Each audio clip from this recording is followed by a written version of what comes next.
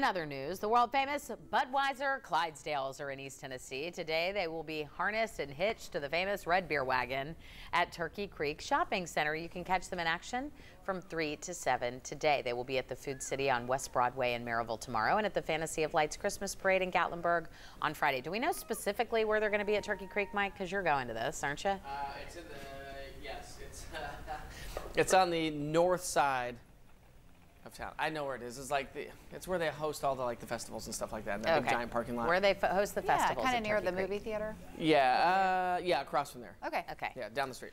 Well, they're just so majestic looking. I know. I love them. And to see them in person, how fun is this? They're on like a cool. tour of East Tennessee. I know. Well, NBC's changing up plans for its New Year's Eve special with new hosts and a new location. Miley Cyrus and Pete Davidson will be ringing in 2022 by hosting Miley's New Year's Eve party.